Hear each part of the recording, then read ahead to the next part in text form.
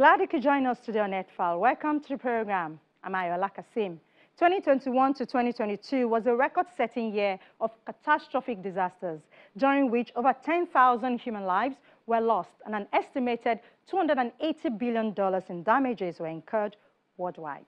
None of these catastrophic disasters needed to be as deadly or as costly as they were. United Nations University Institute for Environment Researchers said they found out that by applying the right solutions and the right combination with each other, lives can be saved, damages averted, and in some cases, disaster can be altogether prevented. Lagos Floods was one of 10 disasters studied during the period and found to share root causes which connected to other disasters in other cities. We'll look at this today on the program. Do stay with us.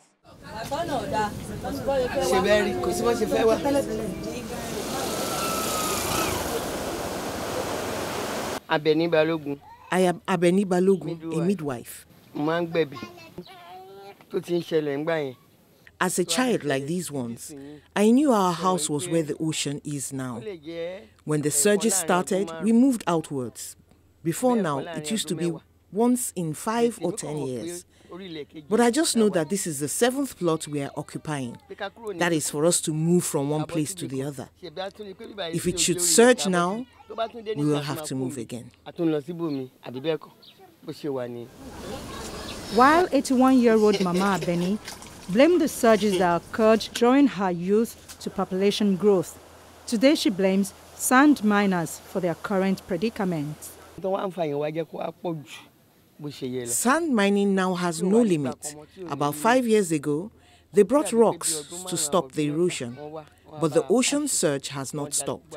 In fact, it has washed the rocks away. If you go down the road towards the Imam's place, you will see that there is no road again. Before now, the road had three lanes two for vehicles and one for people and bikes. But now only one lane remains. Now even bikers have to be careful. The ocean surge has washed the rocks and even the sand away. With the sand being washed away, it makes the surges worse.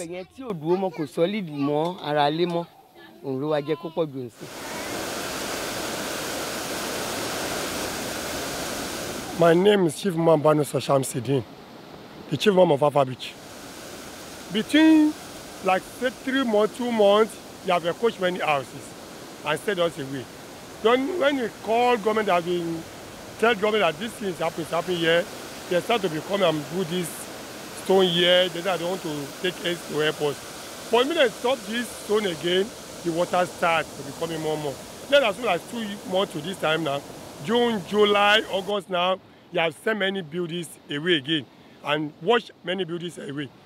Then look at where, look at where they stop the stone. Look now, this is the place they they stopped the stone before. But after they stopped the look the place that you have encroached again. They have stayed roughly 100 meters again. Today, like many, he believes the erosion has become more frequent because of the groins made to protect the Eco-Atlantic City, an entire new coastal city being built on Victoria Island, adjacent to Lagos. Initially conceived in 2003 as a solution to environmental hazards arising from the flooding of the Lagos Bar Beach, the Eco-Atlantic project has snowballed to play host to one of the most expensive real estate locations in Africa, with a square meter of land now selling for almost $2,000.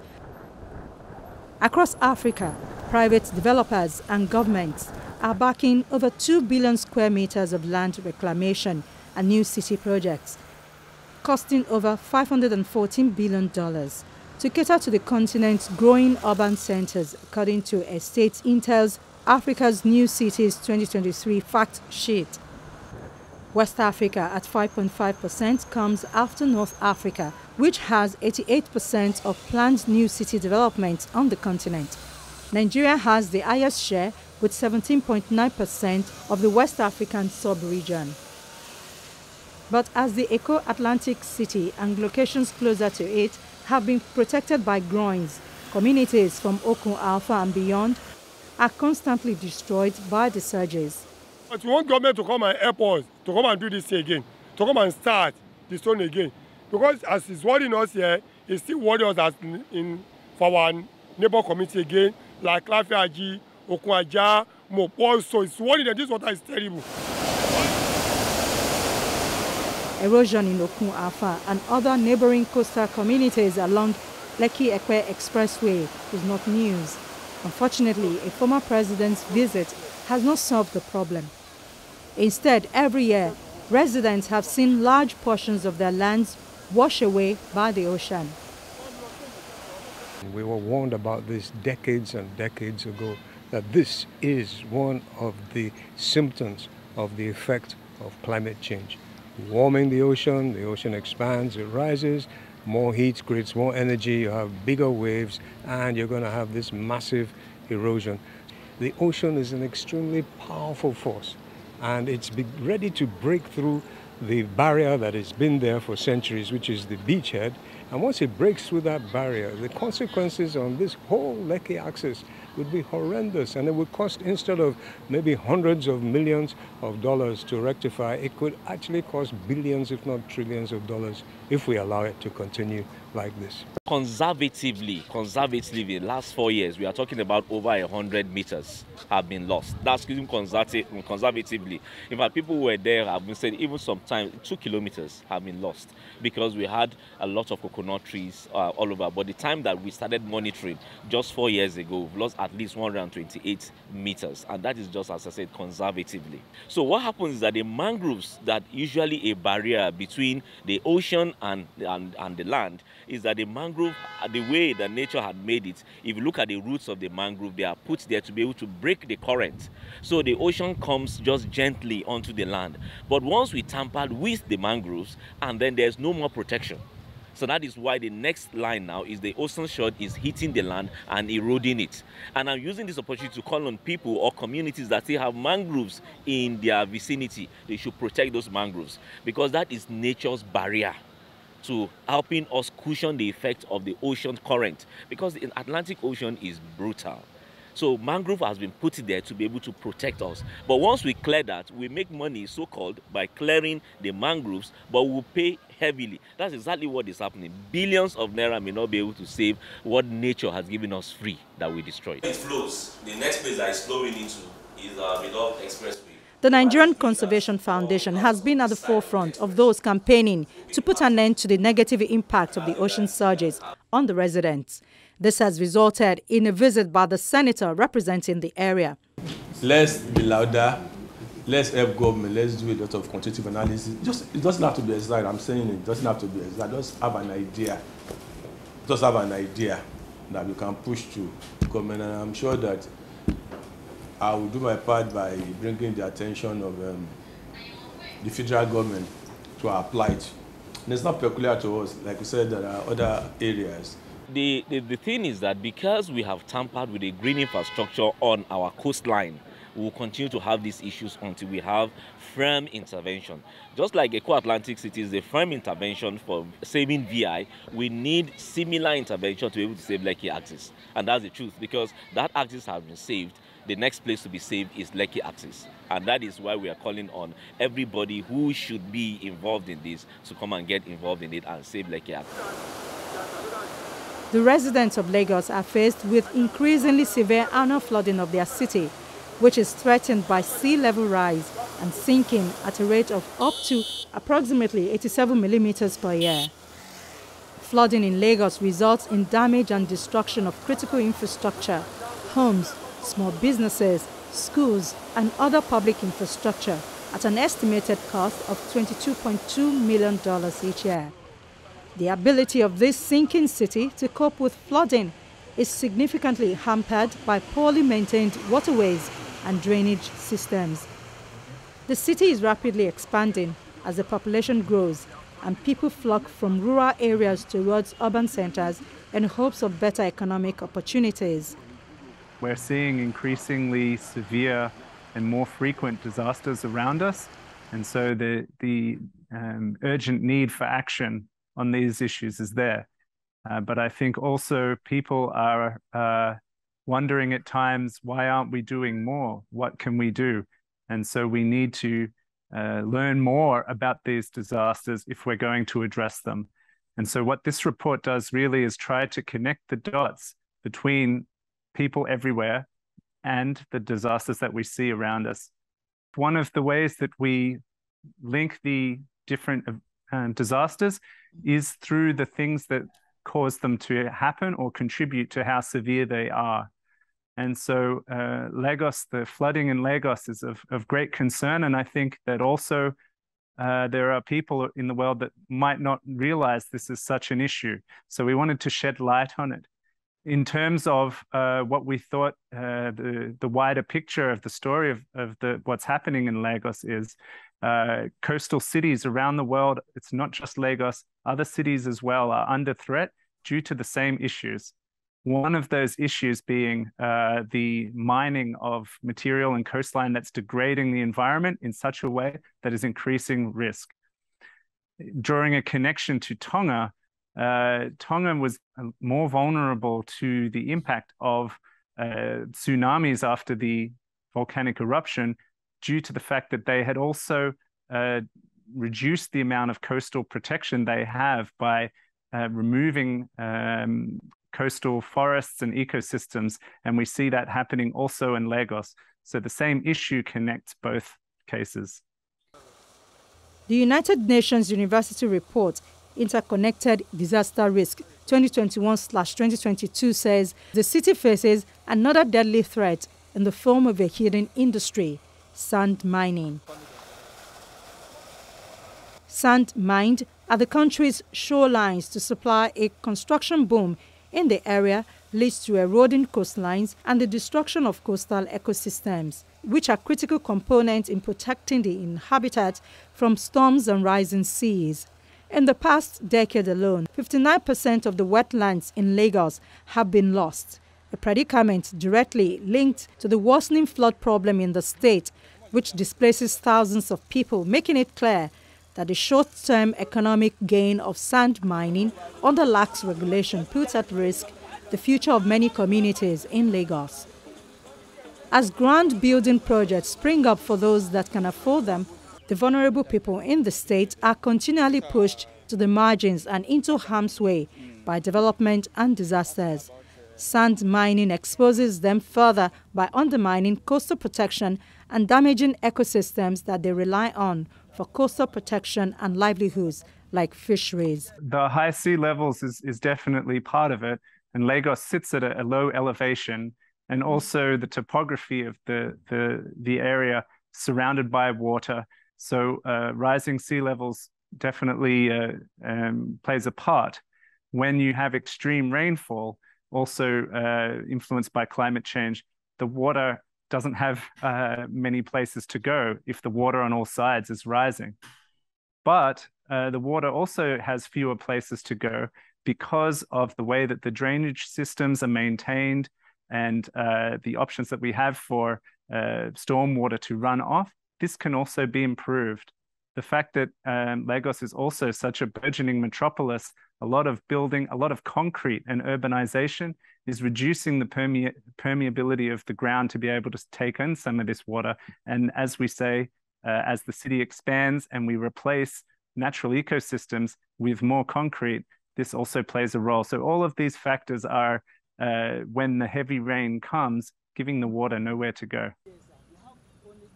The hidden industry of sand mining will become an even bigger threat to Lagos residents in the future, it has been predicted.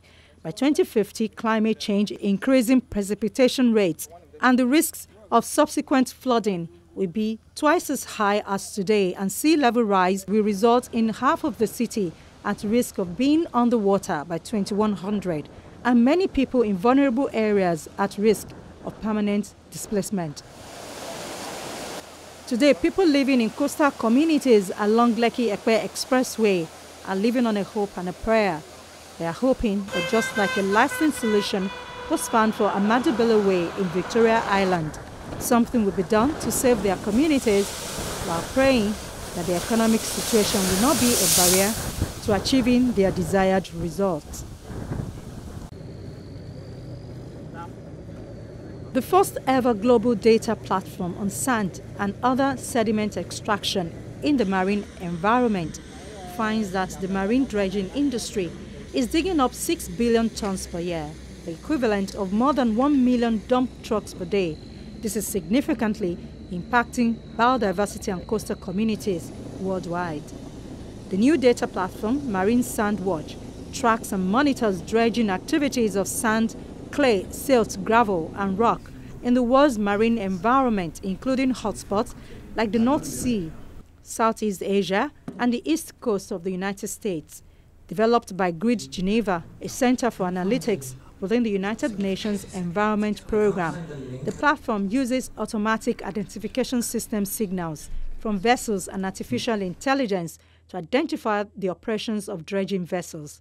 The new platform provides information on areas used for sand extraction, areas of capital and maintenance dredging, sand trading ports and hubs, number of vessels and operators, and extraction of sediment and other types of activities by countries with exclusive economic zones.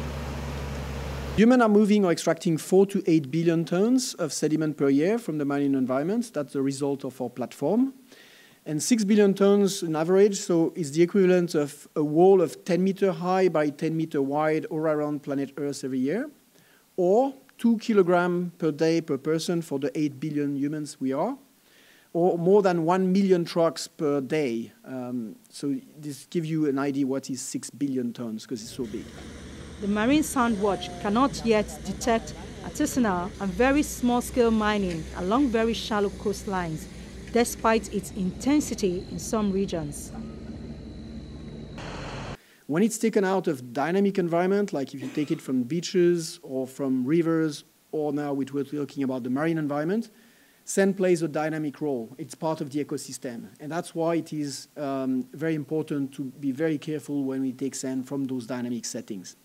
So look at this uh, boat. It looks like a giant vacuum cleaner. And that's what it does. It's basically sterilizing the bottom of the sea by extracting sand and crunching all the mineral uh, microorganisms that are feeding fishes. So it has impact on biodiversity and fisheries.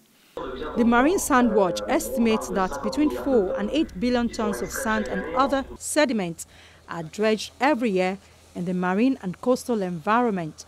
Furthermore, data analysis for the years between 2012 and 2019 shows the scale of dredging is growing. It says we are approaching the natural replenishment rate of 10 to 16 billion tons per year, which is needed by the world's rivers to maintain coastal and marine ecosystem structure and function. This is especially concerning for regions where dredging is more intense and extraction already substantially surpasses the sediment budget from land to sea. Yes, it's not sustainable. The, amount, the amount of sand that we are withdrawing from the environment is considerable and has large impact. So, like we've done for other natural resources like timber, we have cut more forests than trees are reproducing themselves. The same with fishes, we are overfishing and taking more fish than they reproduce themselves.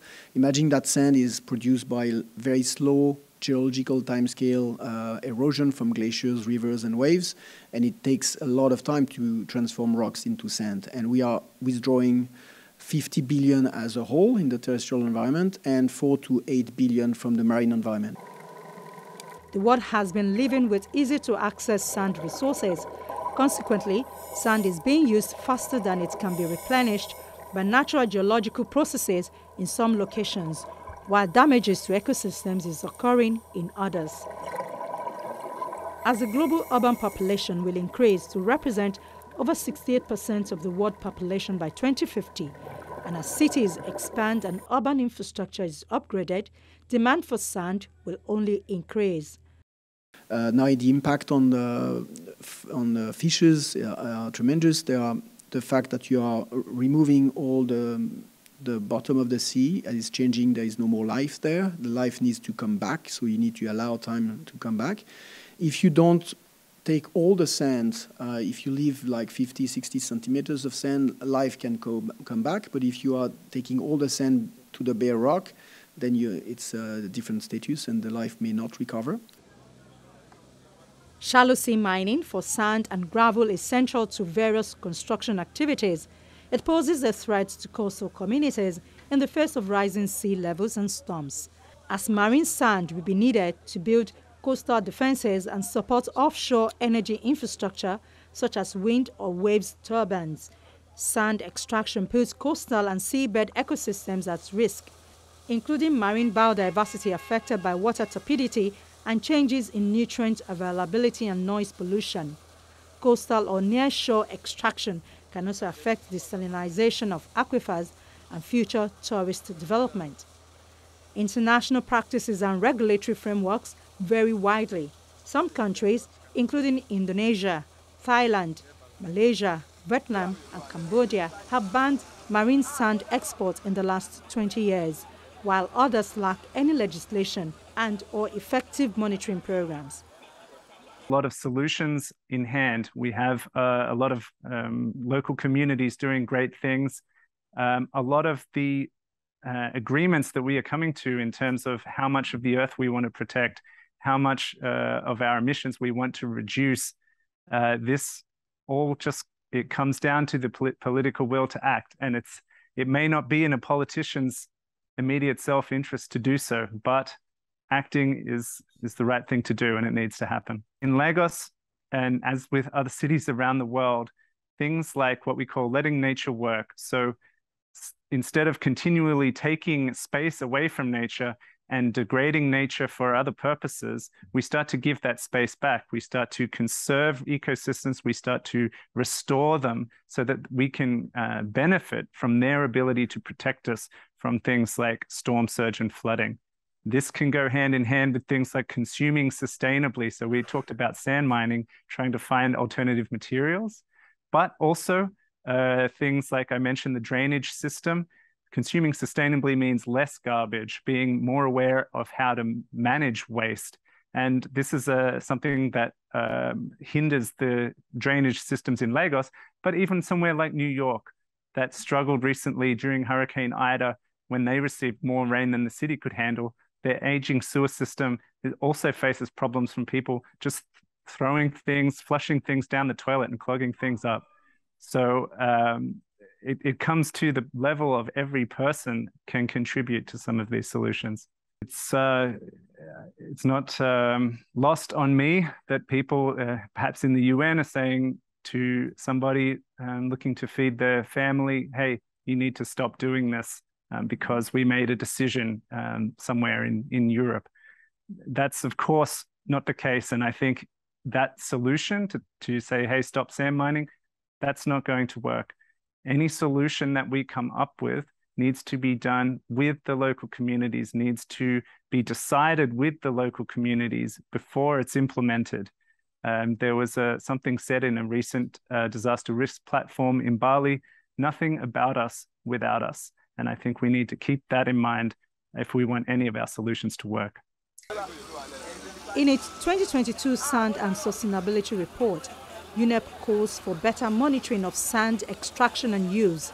The report recommended to stop the sand extraction on the beaches an active beach near-shore sand system for the purpose of mining sand as a resource and to establish an international standard on sand extraction in the marine environment.